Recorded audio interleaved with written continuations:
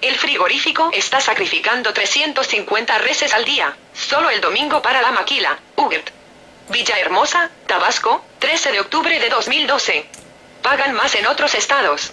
El presidente de la Unión Ganadera Regional, Freddy Priego Priego, reconoció y lamentó que se esté embarcando hacia otros estados ganado hembra y, peor aún, que se estén sacrificando, porque es la fábrica del becerro. Afirmó, además, que persiste la salida de ganado en pie de la entidad porque los compradores de corrales de otros estados están pagando un precio mayor por kilo en pie. Mantienen operatividad Freddy Priego dijo que el frigorífico y empacadora de Tabasco está sacrificando unas 350 reses al día, frigorífico está operando y hay días que hay mucho ganado para sacrificar y hay días que el nivel de cola de embarques va bajando.